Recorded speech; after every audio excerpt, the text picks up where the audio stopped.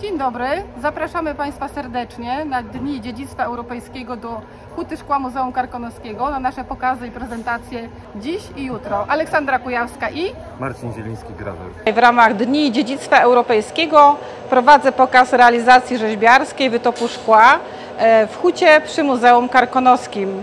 Jest mi bardzo miło, że muzeum pamiętało o mnie. Jestem bowiem wychowanką Muzeum Karkonoskiego, absolwentką Liceum Sztuk Plastycznych w Cieplicach. Dzisiejsze prace inspirowane są e, rzeźbami mojego nauczyciela, pana Władysława Czyszczonia.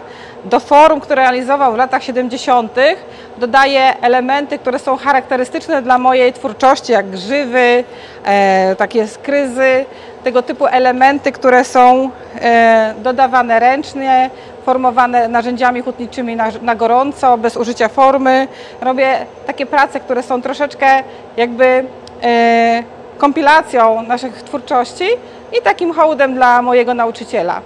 A temperatura na zewnątrz ogromna, A. wy chyba przyzwyczajeni. Tak, jesteśmy przyzwyczajeni, to jest e, specyficzna praca, która tak naprawdę jest jedyną w swoim rodzaju, jest to ginący zawód. E, Cieszę się bardzo, że Muzeum Karkonoskie doczekało huty, że możemy tutaj w tych właśnie 1200 stopniach realizować swoje prace w naszym Muzeum Karkonoskim w regionie. W tej chwili możemy obserwować tutaj mistrza szkła, pana Petera Gosika, który na stałe współpracuje z artystami szkła z Polski. Jest naszymi rękoma, pomaga nam realizować e, prace, elementy, e, które są, wymagają krzepy fizycznej, e, potężnych płuc i on pomaga nam w tych technicznych e, różnych e, sprawach. Oczywiście to muzeum, to miejsce wpłynęło na mnie na to, kim teraz jestem e, projektantką i rzeźbiarką szkła, która ma korzenie właśnie tutaj, w tym regionie, w tym mieście, w tym liceum oraz w tym muzeum. Bardzo dziękuję i zapraszam. W ramach Europejskich Dni Dziedzictwa szlaki, sieci, połączenia w Muzeum Karkonoskim w Jeleniej Górze.